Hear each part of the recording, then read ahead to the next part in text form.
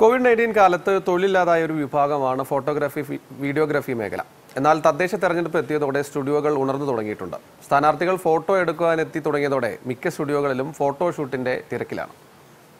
തെരഞ്ഞെടുപ്പായതോടെ സ്ഥാനാർത്ഥികൾ കളത്തിലിറങ്ങി തുടങ്ങി. സ്ഥാനാർത്ഥികളുടെ ഫോട്ടോ അടങ്ങിയ ഫ്ലെക്സ് ബോർഡുകളും പോസ്റ്ററുകളും കവലകൾ തോറും വെക്കണമെങ്കിൽ ഫോട്ടോഗ്രാഫർമാരുടെ സേവനവും കൂടിയേ തീരൂ ഫോട്ടോ എടുക്കുവാൻ സ്റ്റുഡിയോകളിൽ നല്ല തിരക്കാണ് ഇതുകൊണ്ട് അനുഭവപ്പെടുന്നത്. കോവിഡ് കാലത്ത് പ്രതിസന്ധിയിലായ ഒരു വിഭാഗമായിരുന്നു ഫോട്ടോഗ്രാഫി വീഡിയോഗ്രാഫി മേഖല.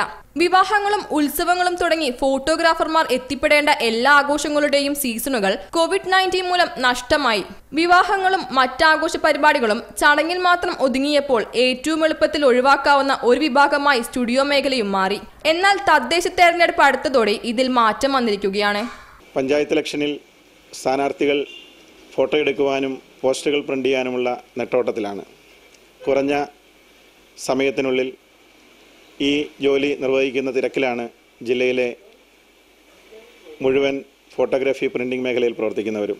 സോഷ്യൽ മീഡിയയിലായാലും മറ്റ് പ്രചരണങ്ങളിലായാലും സ്ഥാനാർത്ഥികൾക്ക് ഫോട്ടോ ഇല്ലാതെ മത്സരരംഗത്ത് പിടിച്ചു നിൽക്കാനാകില്ല.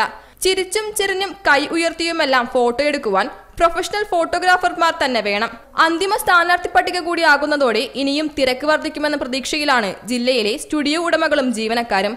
ഷിജു ഏഴല്ലൂരിനൊപ്പം റിപ്പോർട്ടർ തൊടുപുഴ.